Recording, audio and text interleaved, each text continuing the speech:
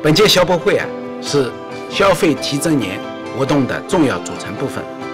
将聚焦绿色消费、健康消费、智能消费、时尚消费等新热点，展示一系列质优物美的商品，举办一系列丰富多彩的活动，